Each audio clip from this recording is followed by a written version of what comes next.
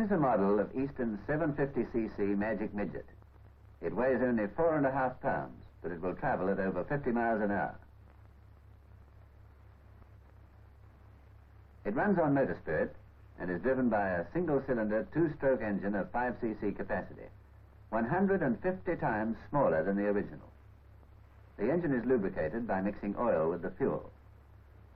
Ignition is by means of a coil and two ordinary 4.5 volt torch batteries. To make it workable, the car can't be an exact scale model of the original in every detail.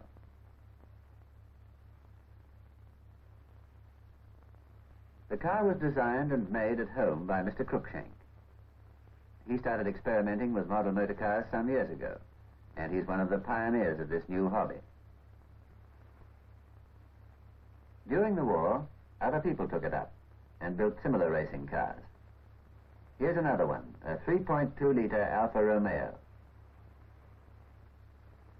It was designed and built by Mr. Jones.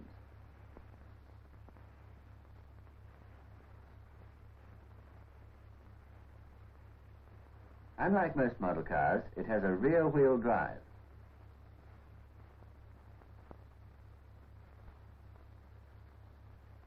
The steering has to be fitted to the front wheels. Mr. Jones has built Ackerman linkage exactly as in the full-size car. This automatically gives each front wheel the correct turning radius. Before racing on the circuit, wheels must always be set to the radius of the track and locked. Otherwise, the cars wouldn't run true, and they might be a disaster. Front wheel suspension on this car is by coil springs. Whilst at the rear, there are double-acting coil springs. The driving seat is finished in imitation leather. Except for the engine, all the parts for this model were made by Mr. Jones at home, and during a period when materials were very difficult to find. Mr. Kerwin's another pioneer. His model's called the Kerwin Special, as it isn't an exact copy of any particular job, but it has the look of a real racing car just the same. Like all other model cars in Britain, it's driven through a centrifugal clutch. This allows the car to be held still with the engine running. Only when the engine's reached full speed do these shoes fly outward and transmit full power to the driving wheels. As usual, the drive is to the front wheels through a crown wheel and pinion. No differential is fitted. The cars are run in a large circle. All these cars run regularly on their London rooftop track at speeds up to 60 miles an hour. In proportion to their size, this represents nearly 500 miles an hour. Such high performance has required a strictly scientific approach. This starts at the beginning, at the design stage. As in full-size cars, what is wanted is the highest possible power-weight ratio. In other words, the greatest power for the least weight. This means cutting weight down to the absolute minimum.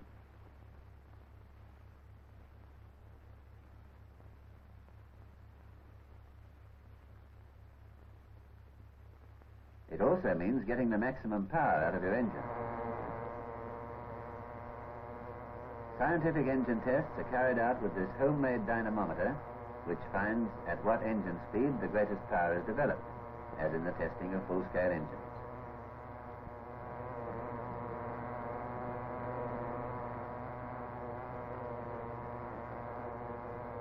Results have been interesting. In some of these tiny engines, ordinary motor spirit is better than 100 octane. The tire problem has also been tackled scientifically. At high running speeds, the tires on some cars used to come off. Here's an experiment being carried out on a solid tire to find at what actual track speed it starts to leave the wheel.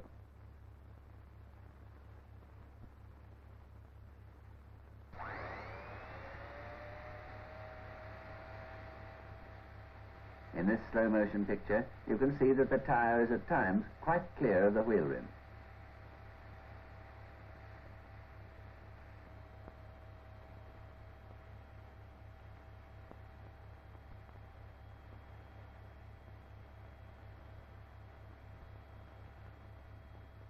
Tires nowadays are sometimes wired or stuck to the wheel so they can't fly off.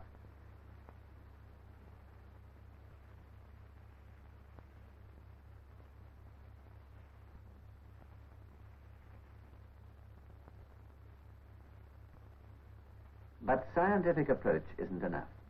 These model makers are ordinary men with jobs to do. They have little spare time for their hobby, and the building of these cars calls for hard work and tremendous enthusiasm.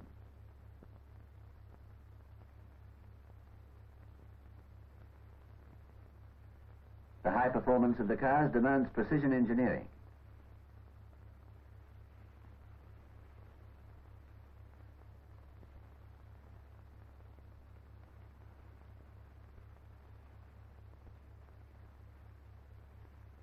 The model makers bring the greatest care and skill to their hobby, and plenty of sheer hard work, too.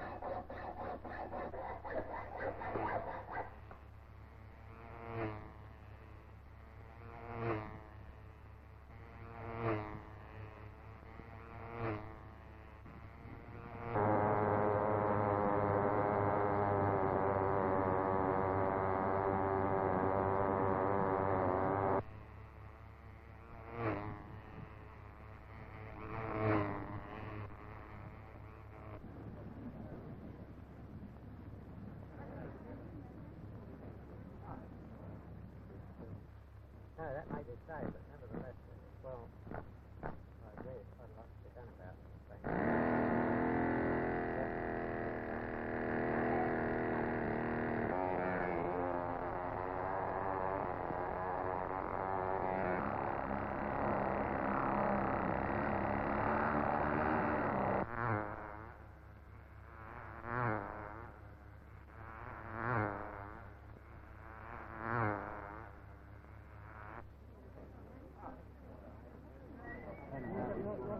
Your what's on the other side of that?